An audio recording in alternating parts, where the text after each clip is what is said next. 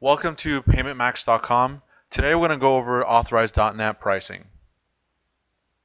When you have identified that Authorize.net is the right payment gateway for your business, and when you start shopping around with any merchant service provider, try to go with a provider that it's one application for both the merchant account and the Authorize.net payment gateway.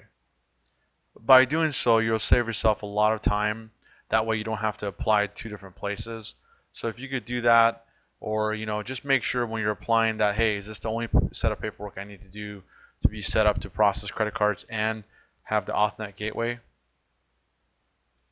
And generally speaking, out there in the marketplace today, uh, when you do sign up for a merchant's account with anybody, they're pretty much the gateway setup fee is waived with a new approved account, and you're all set.